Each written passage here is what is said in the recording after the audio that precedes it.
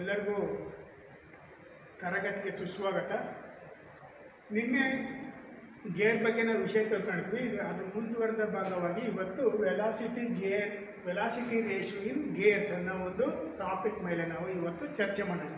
Velocity ರೇಷು ಅಂದ್ರೆ ಏನು ಅಂದರೆ, ಅಲ್ಲಿ ಡ್ರೈವರ್ ಗೇರ್ಗೆ ಸಂಬಂಧಪಟ್ಟಂತೆ ಡ್ರಿವನ್ ಗೇರ್, ಒಂದು ಗೇರಿಂದ ಮತ್ತೊಂದು ಗೇರ್ಗೆ ಪವರು ಟ್ರಾನ್ಸ್ಮಿಟ್ ಆಗೋ ಸಮಯದಲ್ಲಿ ಅದರ ಆರ್ ಪಿ ಎಮ್ಮನ್ನು ಅಥವಾ ಆ ಟ, ಗೇರ್ ಮೇಲೆ ಇರ್ತಕ್ಕಂಥ ಟೀತನ್ನ ಲೆಕ್ಕಾಚಾರ ಮಾಡಲಿಕ್ಕೆ ಅನುಗುಣವಾಗಿ ಒಂದು ನಮಗೆ ಈಕ್ವೇಷನ್ ಬರುತ್ತೆ. ಅದು N one, T one equals N two, T two ಅಂತೇಳಿ. ಅಂದರೆ ವೆಲಾಸಿಟಿ ರೇಷು ಅಂತ ನಾವು ಈ ಈಕ್ವೇಷನ್ನ ಕರಿತೀವಿ. ಯಾಕಪ್ಪ ವೆಲಾಸಿಟಿ ರೇಷು ಅಂತ ಕರಿತೀವಿ ಅಂದರೆ, ಇದನ್ನು ನಾವು ಫಾರ್ ಎಕ್ಸಾಂಪಲ್ ಈ ಗೇರನ್ನ ಡ್ರೈವರ್ ಗೇರ್ ಅಂದ್ಕೊಂಡ್ರೆ ಇದು ಮೇನ್ ಮೋಟಾರಿಂದ ಏನು ಪವರ್ ಸಪ್ಲೈ ತಗೊಳುತ್ತಲ್ಲ ಇದು ಡ್ರೈವರ್ ಗೇರ್ ಇದು ಯಾವುದೇ ಒಂದು ನಿರ್ದಿಷ್ಟ ಆರ್ ಪಿ ಎಂ ಸುತ್ತಾ ಇದೆ ಅಂತ ತಿಳ್ಕೊಂಡ್ರೆ ಅದನ್ನು ಎನ್ ಒನ್ ಅಂತ ಪರಿಗಣಿಸಿದರೆ, ಇದ್ರ ಮೇಲೆ ಇರ್ತಕ್ಕಂಥ ನಂಬರ್ ಆಫ್ ಟೀತನ್ನು ನಾವು ಟಿ ಒನ್ ಅನ್ನೋ ಅಕ್ಷರದಿಂದ ಗುರುತಿಸ್ತೀವಿ.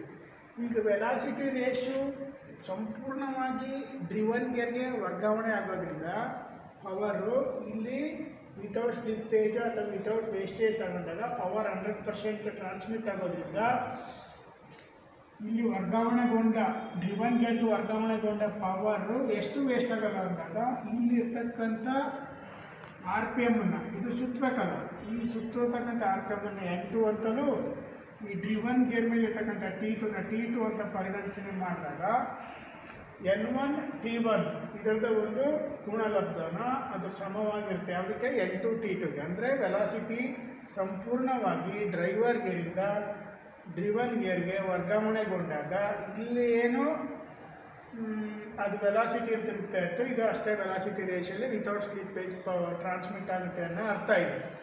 ಹಾಗಾಗಿ velocity ratio equals N one T one equals N two T two ಅಂತ.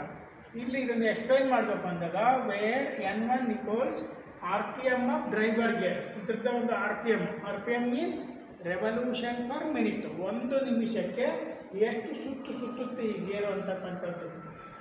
ಅದೇ ರೀತಿಯಾಗಿ ಟಿ ಒನ್ ಅಂದರೆ number of T on driver gear ಈ ಡ್ರೈವರ್ ಗೇರ್ ಮೇಲೆ ಇರ್ತಕ್ಕಂಥ ಎಷ್ಟು ಹಲ್ಲುಗಳಿದ್ದಾವೆ ಎಷ್ಟು ಟೀತ್ ಇದ್ದಾವೆ ಅಂತ ಅದು ಲೆಕ್ಕ ಹೇಳುತ್ತೆ.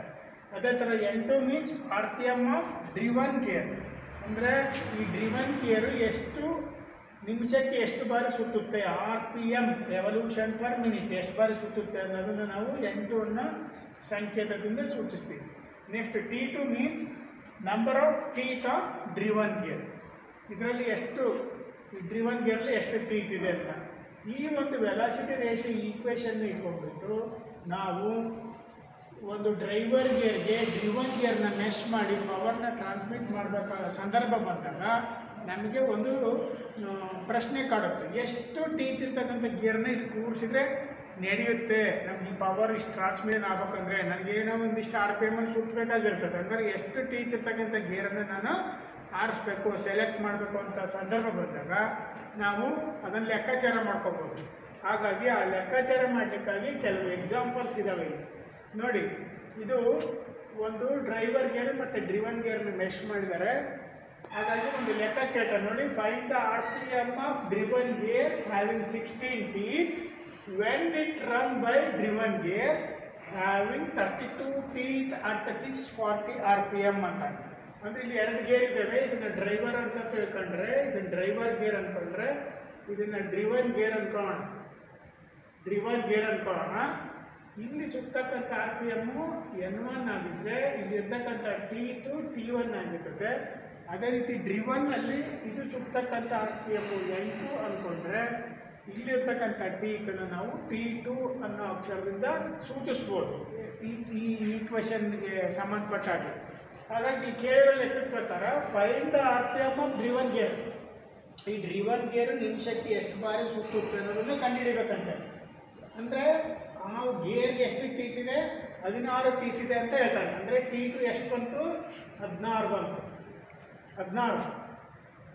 ಮತ್ತು when it run by driven gear having thirty two teeth driver gear sorry ಇದು ಡ್ರೈವರ್ ಗೇರ್ ಇರಬೇಕು ಡ್ರೈವರ್ ಗೇರು ಈ ಡ್ರೈವರ್ ಗೇರಲ್ಲಿ ಎಷ್ಟು ಸುತ್ತುತ್ತಿದೆ? ಸಿಕ್ಸ್ ಫಾರ್ಟಿ ಆರ್ ಪಿ ಎಮ್ಮಲ್ಲಿ ಸುತ್ತುತ್ತೆ ಸಿಕ್ಸ್ ಫಾರ್ಟಿ ಆರ್ ಪಿ ಎಮ್ಮಲ್ಲಿ ಇಲ್ಲಿರ್ತಕ್ಕಂಥ ಟೀತ್ಗಳು ಬಂದ್ಬಿಟ್ಟು ತರ್ಟಿ ಟು ಟೀತ್ ಹಾಗಾಗಿ ಇದು ವಿಷಯ.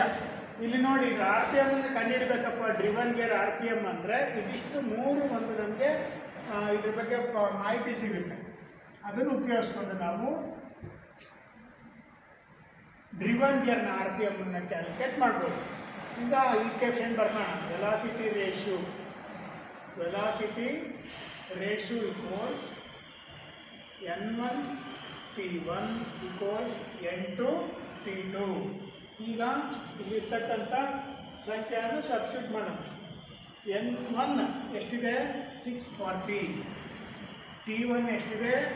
ತರ್ಟಿ ಟು ಎಂಟು ಎಷ್ಟಿದೆ? ಅದನ್ನು ಕಂಡುಹಿಡಿಬೇಕು ನಾವು. ಅಂದರೆ ಇದು R P M of driven gear next T two ಎಷ್ಟಿದೆ? ಹದಿನಾರು. ಈಗ ಇದನ್ನು ಸಿಂಪ್ಲಿಫೈ ಮಾಡೋದಾದರೆ N two equals six forty into thirty two divided by sixteen ಇದನ್ನು ಸಿಂಪ್ಲಿಫಿಕೇಶನ್ ಮಾಡ್ತಾರೆ. ಹದಿನಾರು ಒಂದು ಹದಿನಾರು ಹದಿನಾರು ಎರಡ್ಲ ಮೂವತ್ತೆರಡು ಈಗ ಇದನ್ನು ಸಿಕ್ಸ್ ಫಾರ್ಟಿ ಇಂಟು ಟೂ ಅದೇನಾಗುತ್ತೆ? ಎರಡು ಸೊನ್ನೆಗೆ ಸೊನ್ನೆ, ಎರಡು ನಾಲ್ಕು ಎಂಟು, ಎರಡು ಆರು ಹನ್ನೆರಡು. ಅಂದರೆ driven ಗಿಯರ್ನ R P M one thousand two hundred and eighty ಆಗಿರುತ್ತೆ. ಈ ರೀತಿಯಾಗಿ ನಾವು ಯಾವುದೇ ಒಂದು ಗೇರ್ನ ಆರ್ ಪಿ ಎಮ್ಮು ಅಥವಾ ಆರ್ ಪಿ ಎಮ್ಮನ್ನು ಕಂಡುಹಿಡಲಿಕ್ಕೆ ಈ ಈಕ್ವೇಷನ್ನು ಸರಳವಾಗುತ್ತೆ. ಅದೇ ರೀತಿ ವಿದ್ಯಾರ್ಥಿಗಳೇ, ನಿಮಗೆ ಇಲ್ಲಿ ಎರಡನೇ ಎಕ್ಸಾಂಪಲ್ ಕೊಟ್ಟಿದ್ದೀನಿ. ಯಾವುದೇ ಒಂದು ವಿವರಣೆ ಇಲ್ಲ. ಇಲ್ಲಿ ಕೇವಲ ಚಿತ್ರ ಇದೆ. ಇದು ಡ್ರೈವರ್ ಗೇರು ಇದು ಏಯ್ಟ್ ಹಂಡ್ರೆಡ್ ಆರ್ ಪಿ ಎಮ್ಮಲ್ಲಿ ಸುತ್ತಾ ಇದೆ. ಆಗ ಇದಕ್ಕೆ ಅರವತ್ನಾಲ್ಕು ಟೀತ್ ಇದೆ.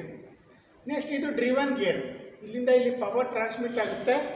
ಇಲ್ಲಿ ಇದು one thousand six hundred R P ಎಮ್ಮಲ್ಲಿ ಸುತ್ತಾ ಇದೆ. ನೋಡಿ ಈ ರೀತಿ ಸುತ್ತಾ ಇದೆ.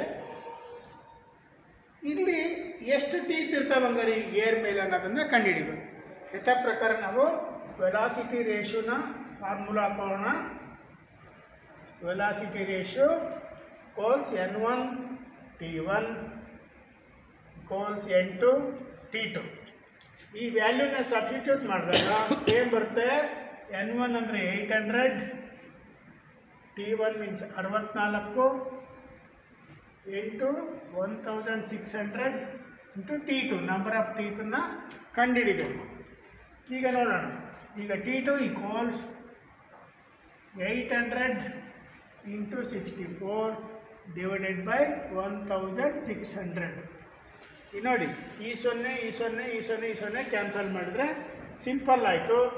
ಈಗ ನಾವು ಮಾಡಬೇಕಾಗಿರೋದು ಎರಡು ಒಂದು ಎಂಟೊಂದ್ಲ, ಎಂಟು, ಎರಡಲ. ಈಗ ಸಿಂಪಲಾಗಿ ಯಾವ ಇದು ಫಾರ್ಮೇಷನಿಗೆ ಬಂತು? ಸಿಕ್ಸ್ಟಿ ಫೋರ್ ಬೈ ಟು ಅಂತ ಆಯಿತು. ಈಗ ಇದನ್ನು ನಾವು ಬಾಕ್ಸ್ದಾಗ ಬರ್ತಕ್ಕಂಥದ್ದು ತರ್ಟಿ ಟು ಹಾಗಾಗಿ ಈ ಡ್ರಿವನ್ ಗೇರ್ನಲ್ಲಿರ್ತಕ್ಕಂಥ ಟೀತ್ಗಳು ಟಿ ಟು ಸಂಖ್ಯೆ ಮೂವತ್ತೆರಡು ಹಲ್ಲುಗಳಿರ್ತಕ್ಕಂಥ ಗೇರನ್ನು ನಾವು ಸೆಲೆಕ್ಟ್ ಮಾಡಬೇಕಾಗುತ್ತೆ. ಮೂವತ್ತೆರಡು ಹಲ್ಲು ಇರ್ತಕ್ಕಂಥ ಗೇರ್ನ ಸೆಲೆಕ್ಟ್ ಮಾಡಬೇಕಾಗುತ್ತೆ. ಈ ರೀತಿಯಾಗಿ ಈ ವೆಲಾಸಿಟಿ ರೇಷು ಒಂದಕ್ಕೊಂದು ಇದು ಸಂಬಂಧನ ನಾವು ಚೆನ್ನಾಗಿ ಮನನ ಮಾಡಿಕೊಂಡ್ರೆ ನಾವು ಗೇರ್ನ ಸೆಟ್ ಮಾಡುವಾಗ ಮಷಿನ್ ಮೇಲೆ ಯಾವುದೇ ಒಂದು ಗೇರ್ನ ಸೆಟ್ ಮಾಡಿದಾಗ ಯಾ, ಎಷ್ಟು ಅಲ್ಲಿನ ಒಂದು ಗೇರ್ನ ನಾವು ಚಾಯ್ಸ್ ಮಾಡಬೇಕು ಅಂತ ಇದರಿಂದ ಗೊತ್ತಾಗುತ್ತೆ ವಿದ್ಯಾರ್ಥಿಗೆ. ಹಾಗಾಗಿ ಇದನ್ನ ಮನೆಯಲ್ಲಿ ಒಂದು ಎರಡು, ಮೂರು ಸಲ ಪುನರಾವರ್ತನೆಗೊಳಿಸಿ ಪ್ರಾಕ್ಟೀಸ್ ಮಾಡಿ ನಿಮಗೆ ಮನನ ಆಗುತ್ತೆ. ಎಲ್ಲರಿಗೂ ಅರ್ಥ ಆಗಿದೆ ಅಂತ ಭಾವಿಸಿ ಇಂದಿನ ತರಗತಿಯನ್ನು ಮುಗಿಸ್ತಾ ಇದ್ದೀನಿ ವಿದ್ಯಾರ್ಥಿಗಳೇ. ಧನ್ಯವಾದಗಳು.